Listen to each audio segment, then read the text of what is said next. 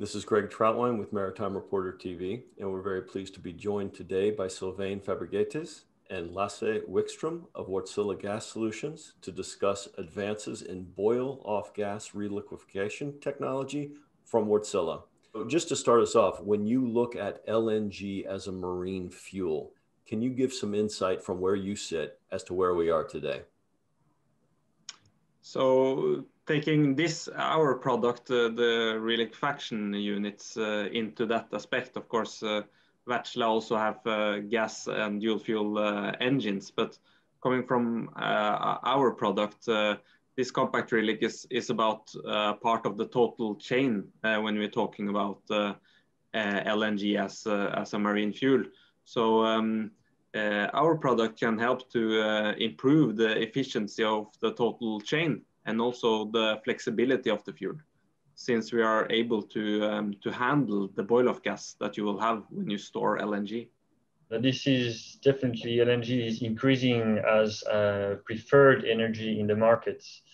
And, um, and that, that's why we have been working with that for, for some years. Um, we, the boil-off gas itself has been more and more used on LNG carriers uh, as, as a fuel.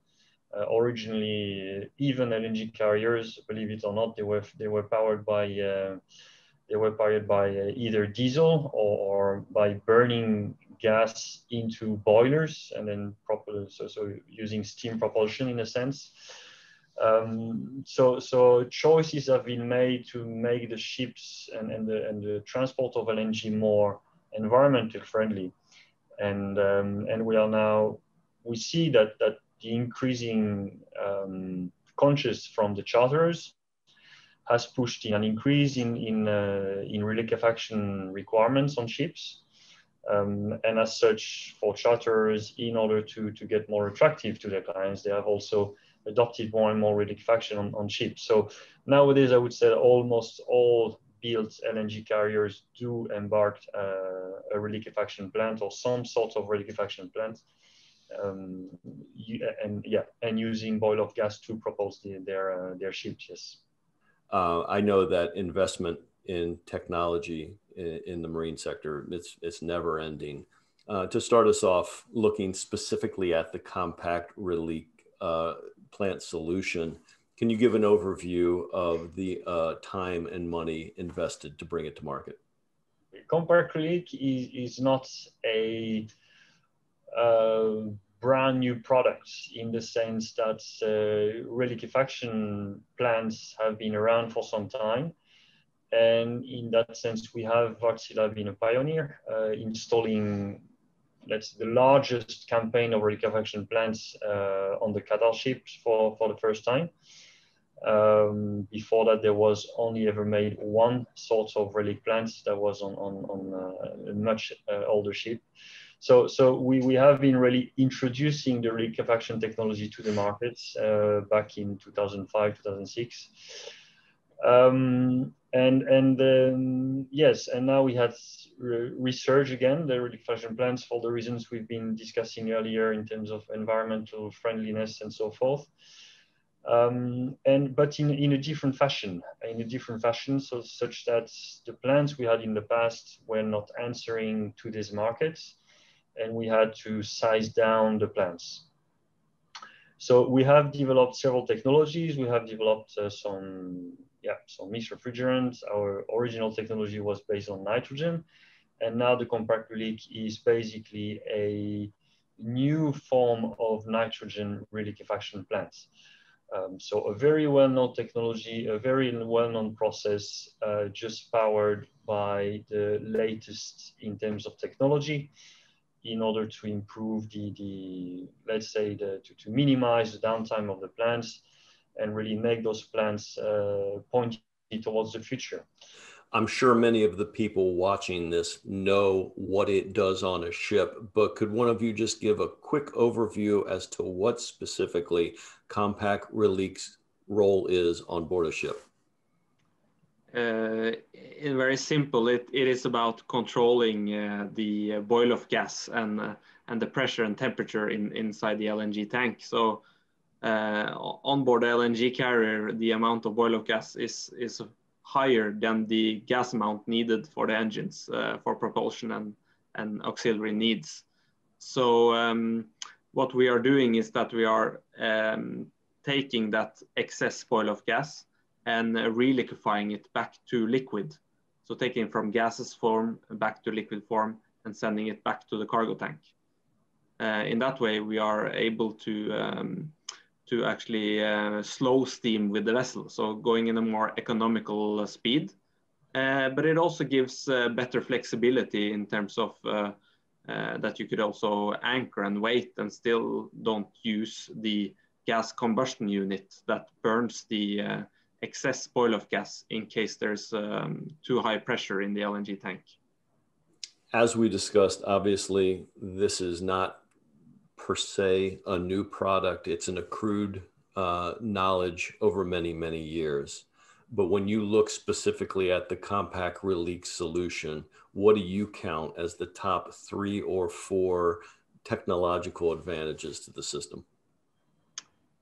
Uh, we can say that maybe the the flexibility in operation is is uh, is important for for our system and uh, that it is actually handling the boil-off gas itself and, and reliquefying it um, uh, makes it able to have full effect regardless of, uh, of cargo load.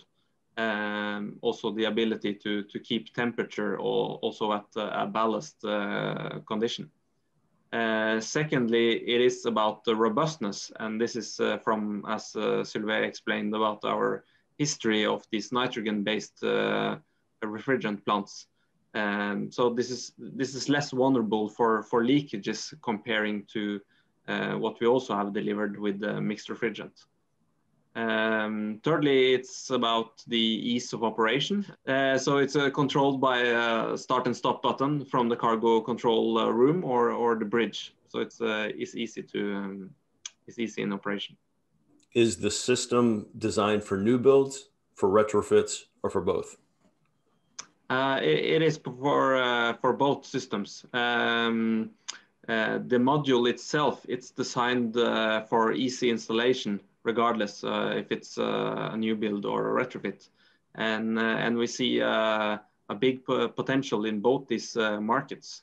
Um, you're looking at you know five to ten year old DFD driven vessels, large scale LNG carriers. Um, they have a lot of life left and uh, could be uh, a lot more efficient uh, going at maybe 12, 13 knots than going at 20, as they are going to have to do today to keep the, the tank pressure under control.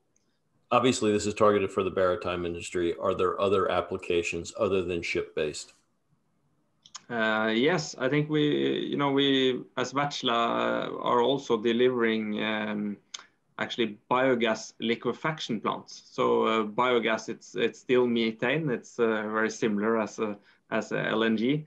So we are taking actually food waste and uh, converting it to to uh, gas, and then uh, liquefying that, and that could be used as a um, uh, environmental friendly fuel.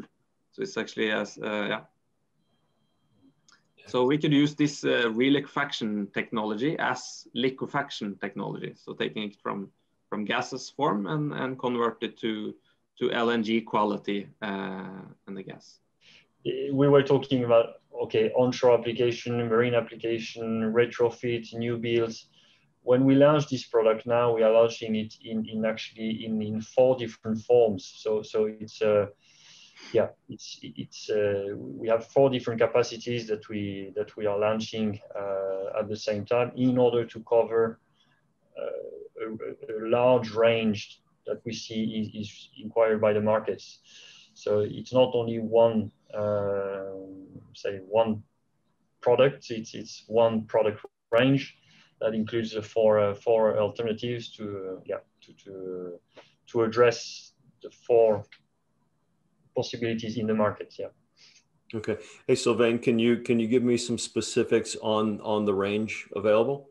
Sure, sure. So so this is starting by uh, what we call the CRS, which stands for compact reliq single. Um, it uh, it performs at about 850 kilograms per hour, or in terms of uh, bog handling.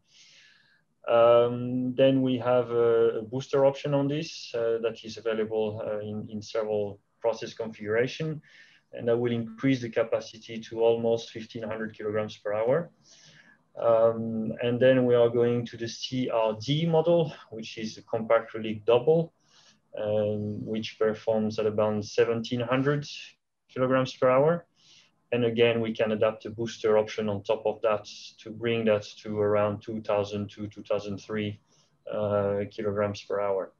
So, so it gives quite a good range um, step by step that we can choose from.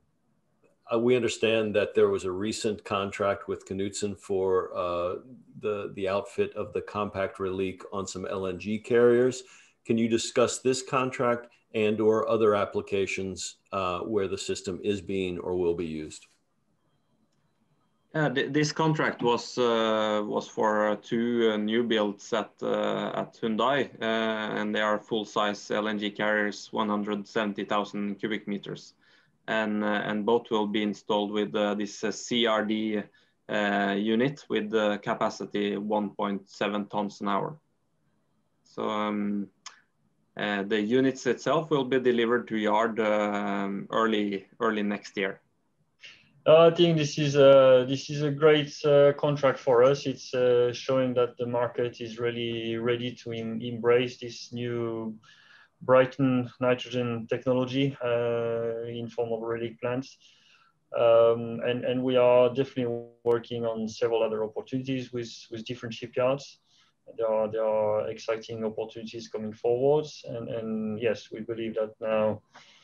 Thanks to, to this reference uh, with Knutsen, we, we, we, have a very good relationship with Knutsen, and they have over the years uh, uh, yeah, uh, shown their trust in our products. Uh, so, so, so it's a great partner to start delivering this new product to.